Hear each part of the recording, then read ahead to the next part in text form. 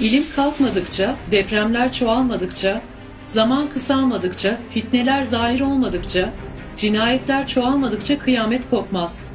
Anlaşmazlıklar ve sık sık depremler vaki olacak. Bu grafikte 1900 ile 2008 yılları arasında yeryüzündeki 6 ila 8 arası şiddette depremlerde izlenen artış görülmektedir. Son yıllarda depremlerde ani bir artış yaşandığı da çok açıktır. Yakın geçmişe bakıldığında deprem sayısının çok az olduğu görülür. Örneğin Amerika Birleşik Devletleri Jeolojik Araştırma Kurumu'nun raporlarına göre 1556-1975 yılları arasındaki yaklaşık 400 yılda meydana gelen 5.0 ve daha büyük şiddetteki depremlerin sayısı sadece 110'dur.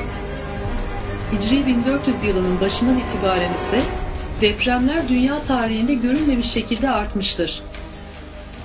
Amerikan Ulusal Deprem Enformasyon Merkezi verilerine göre sadece 1999 yılında yeryüzünde küçük veya büyük şiddette 20.832 deprem meydana gelmiştir.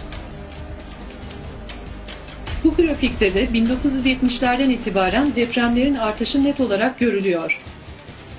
Yer gök her yer sallanıyor. Dünya tarihinde yok. Dünya tarihinde yok. Çok büyük bir mucize. Peygamberimiz Resulullah sallallahu aleyhi ve sellemin büyük mucizelerinin bir tanesi. 2000 yılından sonra dünya tarihinde görülmemiş şekilde depremler sıklaştı. Hem ne sıklaşma? Kaç kat birden? Bir kat, iki kat, üç kat, dört kat değil. 15-20 kat birden. Yer haberlerini söylüyor. O gün yer haberlerini söyler diyor ayette. İttihat İslam istiyorum diyor yer. Kur'an istiyorum diyor. Bana İttihat İslam verin. Ben de duruyum diyor. Yoksa titreyeceğim böyle diyor. Anında sükut buldu. Dünyanın tarihinde, bilinen tarihinde işte 100 bin yıl, 200 bin, 300 bin yıl geri gittiğimizde bu kadar deprem sıklığı görülmemiş.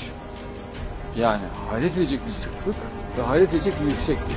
her şeyin Allah'ın kontrolünde olduğunu, her şeyin hayırla yaratıldığını Cenab-ı Allah bize göstermiş oluyor. Ama tabii birçok insanın Allah'ı daha çok düşünmesine, Allah'a daha çok yaklaşmasına vesile oldu.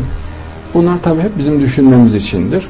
Fakat yine bunun kökeninde Allah'ı sevmek, Allah'a insanların yaklaşması amaç vardır Cenab-ı Allah bunları meydana getirirken bu amaçla meydana getirir. İnsanların hidayetine vesile olur bu tarz olaylar. Daha onların derinliğini artırır. Hikmetle hayırla yaratılır. İnşallah.